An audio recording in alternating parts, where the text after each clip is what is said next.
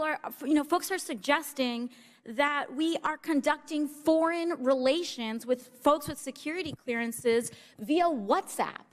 I mean, every day that we go on without getting to the bottom of this matter is a day that we are putting hundreds, if not potentially thousands of Americans at risk. I mean, really, what is next? Putting nuclear codes in Instagram DMs? This is ridiculous. We need to get to the bottom of this. And in order to do that, we have to issue subpoenas because people in this administration are not cooperating. And every day that there is an insecure line of communication that could be leaked, that could be hacked, that could be screenshotted without, with, without our uh, proper channels is a day that we are putting our national security at risk.